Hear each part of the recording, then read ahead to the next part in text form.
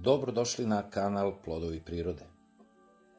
Tradescantija ili Tradeskantija zebrina ili prugasta tradeskantija, kako se često naziva, je zanimljiva šarena puzavica, koja raste brzo i žbuna se.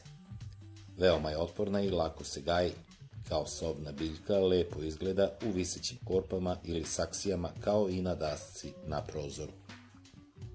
Da bi imala intenzivne boje šarenog lišća, zebrinu treba staviti na svetlo mesto, ali dalje od jakog sunca. Pri slabom osvetljenju lišće gubi svoju boju. Pošto nije isključivo sobna biljka, zebrina se može izneti leti napolje, ali treba obezbediti dovoljno vlage i u vazduhu i u zemljištu. Zimi se unosi u osrednje hladnu prostoriju gde je temperatura od 12 do 15 stepeni Celzijusovih, ali ne ispod 10 stepeni. Zemljište za zebrinu treba da bude dobro drenirano, jer višak vode u zemljištu može uzrokovati truljenje korena i uginuće biljke. Samo kada zemljište u saksiji počne da se suši, zebrinu treba zalivati.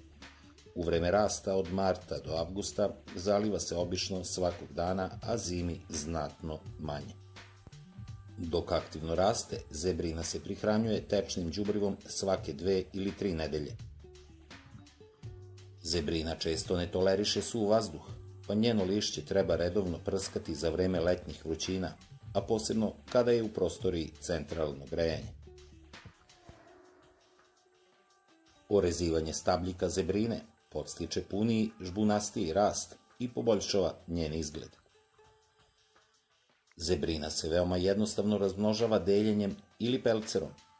U čašu sa vodom treba staviti otkinutu grančicu koja će se zakoreniti za jednu do dve nedelje. A takođe, pelcer možete pobosti i u saksiju u mešavinu baštinske zemlje i peska i takođe će se pelcer vrlo lako ožiliti.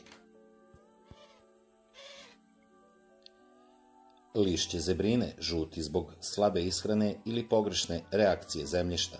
Uvele i oštećene listove treba redovno uklanjati. Lisne vaši redko napadaju zebrinu. A na našem kanalu smo vam prikazali takođe i tradeskanciju palidu.